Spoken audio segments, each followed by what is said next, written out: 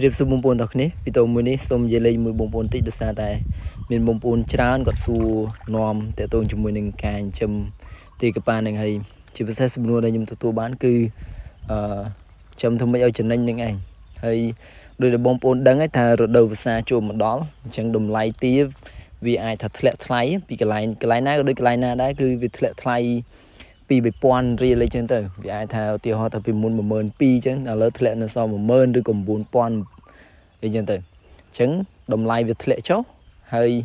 ទីផ្សារដែលគេទិញហ្នឹងក៏តម្រូវការលេខសើមានទិញមិនសូវមានហើយដល់ពេលវាធ្លាក់ថ្លៃប៉ុន្តែអាចចំណីអីអស់ហ្នឹងវាទៅជាឡើងថ្លៃវិញ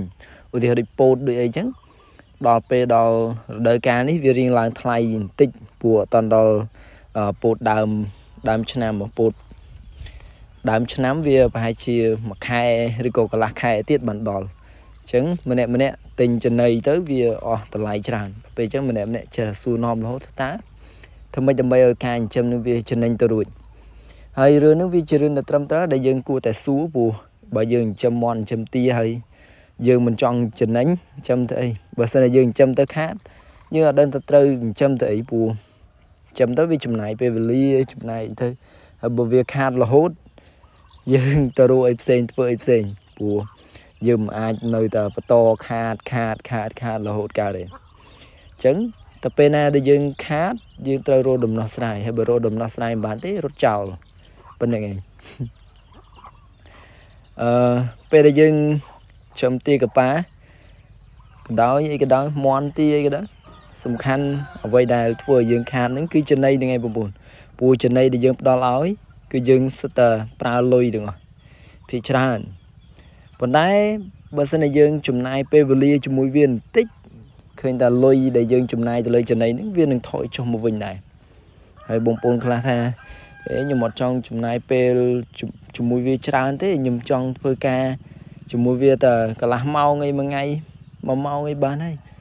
ហើយខ្ញុំសួរវិញថាបងប្អូនបើបងប្អូនទៅរកការងារធ្វើបងប្អូនដាក់ពាក្យធ្វើការនៅកន្លែងណាក៏ដោយបងប្អូនថាចង់បានប្រាក់ខែ100ឧទាហរណ៍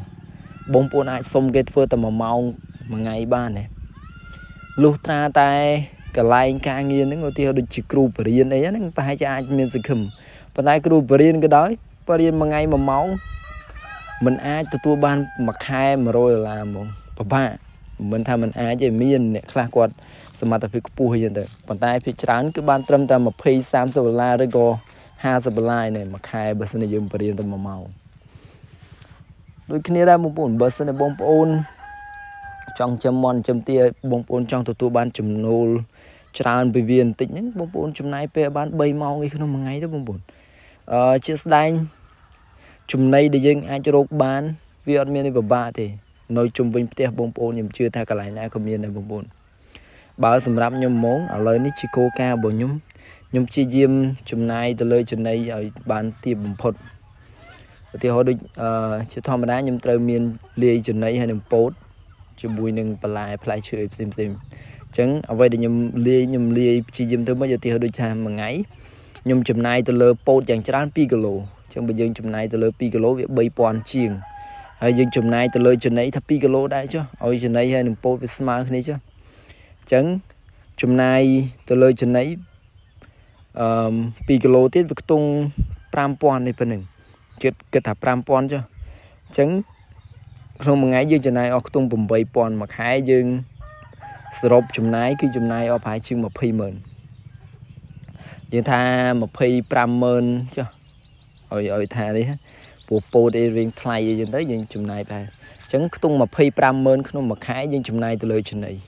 អញ្ចឹងបើសិនជាយើងលក់មន់លក់ទាវិញបើយើងលក់បានក្រោម20ម៉ឺនក្នុងមួយខែគឺយើងខាតហើយប៉ុន្តែបើយើងលក់បានដល់30ម៉ឺនអានឹងប្រហែលជាអាចចំណេញប៉ុន្តែវាចំណេញតិចតួចចំណេញ4 5ម៉ឺនអញ្ចឹងទៅអញ្ចឹងយើងអាចធ្វើបានគឺព្យាយាម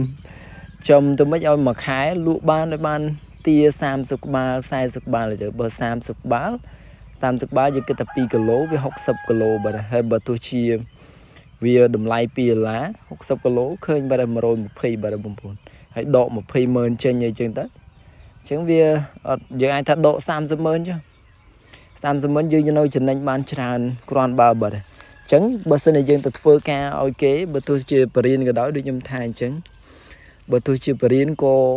មួយខែបានត្រឹមតែ50ដុល្លារប៉ុណ្្នឹងទេបើសិនជាយើងធ្វើតែ1ម៉ោង ហើយបើយើងធ្វើចិញ្ចឹមមន់ចិញ្ចឹមទាយើងធ្វើតែ1ម៉ោងអីយើងចង់រំពឹងចំណេញបាន3 400ដុល្លារវា impossible មកវាអាចទៅរួចទេបងប្អូនចឹងហើយត្រឡប់ទៅអ្វីដែលខ្ញុំចង់និយាយវិញគឺការចិញ្ចឹមសត្វវាស្លាប់រស់ឬក៏កត្តាសំខាន់ជាងគេហ្នឹងគឺទៅលើកត្តាចំណីហ្នឹងឯងបងប្អូនហើយបើសិនជាយើងចង់ចំណេញច្រើនយើងត្រូវក៏ ត្រូវចំណាយពេលជាមួយវាឲ្យច្រើនតិចដែរបងប្អូនកុំចំណាយពេលជាមួយវាតិចពេកហើយការផ្សំចំណីបើចំពោះខ្ញុំខ្ញុំមានការផ្សំចំណីនឹងច្រើនដូចខ្ញុំថាមិញអញ្ចឹងពោតឬក៏កតុឬក៏ចំណីសម្រាប់ពីរោងចក្រនឹងវាសំខាន់ប៉ុន្តែយើងអាចលាយត្រឹមតែដូចមួយពេលអញ្ចឹងខ្ញុំលាយត្រឹមតែ1គីឡូហើយចំណីចំណីក្រុងបងប្អូនចំណីខ្ញុំឃើញសង្កេតឃើញថាបើសិនជាយើងលាយ មន់ទារបស់យើងវាស៊ីខ្លាំងភាសាមិនដឹងថារសជាតិវាមិនណាប្រហែលជាអាចថាឆ្ងាញ់ឬក៏មន់ទាយើងចូលចិត្តចឹងបើសិនខ្ញុំលាយអីផ្សេងក្រៅតែពីចំណី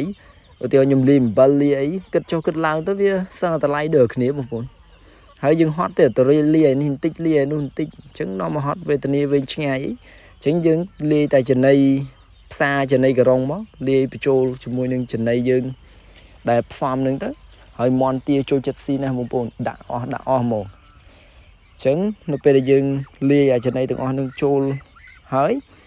បន្លែយើងមានច្រើនមែនទេនៅជុំវិញផ្ទះបងប្អូនសនេឧទាហរណ៍ដូច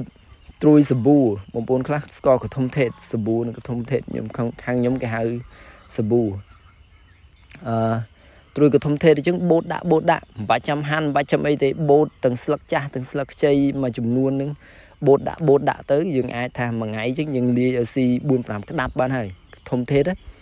ឬក៏សាប៊ូហ្នឹងយើងដាក់ថាអឺ3 4ខាំចុះហើយនៅមានបន្លែផ្សេងផ្សេងទៀតឧទាហរណ៍ដូចអង្គាសដីដូចស្លឹកបាសត្រួយបាសឆៃយ៉ាហើយចកចកបងប្អូនចកគ្រប់ប្រភេទចកអាសូឡាចកបាយទាកផ្លោកចកស្លឹកធំនិយាយរួមឲ្យទៅប្រភេទជាចកគឺទាយើងស៊ីទាំងអស់អញ្ចឹងដូចខ្ញុំអញ្ចឹងខ្ញុំហាន់ពុបពុបទៅមួយផ្លេតបានហើយហើយដូចចកដូចខ្ញុំនេះដូចបងប្អូនបានឃើញអញ្ចឹង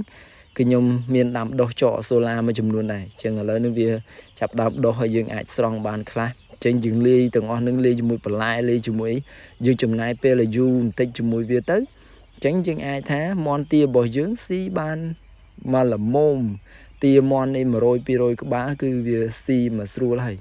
ហើយ មន់ទា100 200ក្បាលទាំងតូចទាំងធំអញ្ចឹងមួយខែខ្ញុំអាចលក់បាន10 20ក្បាលឬក៏30ក្បាលអីចឹងទៅអញ្ចឹងប៉ុណ្្នឹងគឺវាគ្រប់គ្រាន់វីដេអូនឹងគឺមានប៉ុណ្្នឹងបងប្អូនអរគុណច្រើនជម្រាបលាជួបគ្នានៅវីដេអូក្រោយ